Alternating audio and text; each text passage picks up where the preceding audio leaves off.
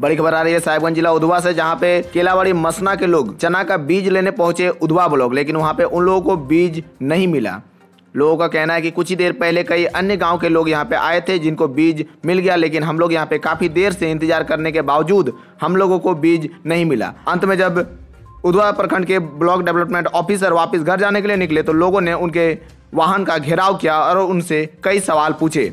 लोगों ने उनसे पहले निवेदन किया कि आप हमें बीज दिला दें, क्योंकि वहाँ उपस्थित सभी ग्रामीणगण खेती बाड़ी से जुड़े हुए हैं उन लोगों ने अपनी समस्या वीडियो को बताया। लेकिन समस्या का समाधान अभी तक नहीं हो पाया है। उनके बाद वीडियो ने उन लोगों को आश्वासन देते हुए कहा कि आप लोगों को बीज मिलेगा, आप लोग थोड़ी प्रतीक्षा करें। लेकिन लोगों को ये मानना स्वीकार नहीं था। उन लोगों ने काफ़ी हंगामा किया और परिसर में काफ़ी देर तक लोग हंगामा करते रहे। इसी प्रकार के खबरों को जानने और देखने के लिए सब्सक्राइब करें आपके अपने न्यूज़ चैनल जी न्यूज़ को।